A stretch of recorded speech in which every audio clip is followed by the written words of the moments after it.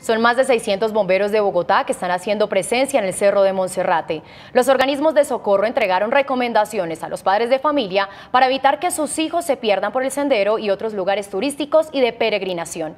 35 mil personas subieron al Cerro de Monserrate este jueves santo. Carolina Beltrán con el informe.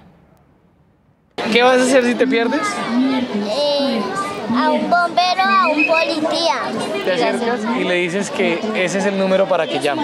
Así es como el Cuerpo Oficial de Bomberos le da la bienvenida a los niños que están subiendo a los cerros de Bogotá en la Semana Mayor. Es una estrategia práctica, simple, pero que nos ayuda, nos ha ayudado durante estos tres últimos años a reencontrar los niños con sus familiares. Son unas manillas las cuales contiene el número telefónico de un adulto responsable y su nombre. Los niños únicamente cuando se pierden se acercan, muestran la manilla y pues finalmente ahí está el celular y, lo, lo, reencontramos muy fácilmente. Me parece una excelente campaña, está bien que lo hagan, esto es una congestión tenaz y no está ese, eh, que un niño se pierda y pues pueda acudir a personas que le puedan ayudar a encontrar a su familia. Muy buena campaña para que los niños no se vayan a refundir.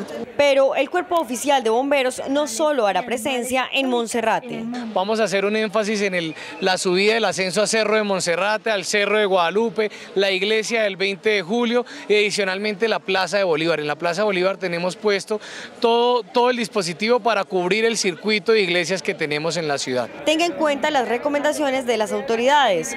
Subir al sendero está prohibido para mujeres embarazadas y niños menores de 5 años de edad.